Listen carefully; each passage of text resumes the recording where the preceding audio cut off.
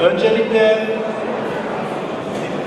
bugün tekrar hepinizin Öğretmenler Günü'nü en içten dileklerimle kutluyorum ve nice başarılı sağlık içerisinde, huzur içerisinde eğitim öğretim yılları dilerken ailelerinizle, eşlerinizle, çocuklarınızla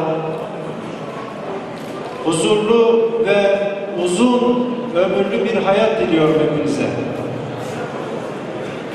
Bugün Öğretmenler Günü vesilesiyle sizlerle bir araya geldik.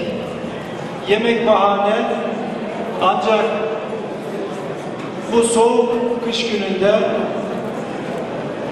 eğitimin sıcaklığıyla sizlerin yakınlığıyla güzel bir akşam olmasını temenni ediyorum ve hepinize bu geceye katıldığınız için teşekkür ederken afiyet olsun diyorum ve nice 24 Kasım'larda buluşmak dileğiyle diyorum.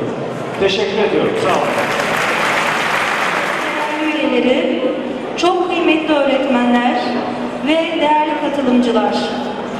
Ağrı Valiliği İl Milli Eğitim Müdürlüğü tarafından 24 Kasım Öğretmenler Günü münasebetiyle düzenlenmiş olan yemek programımıza hepiniz hoş geldiniz.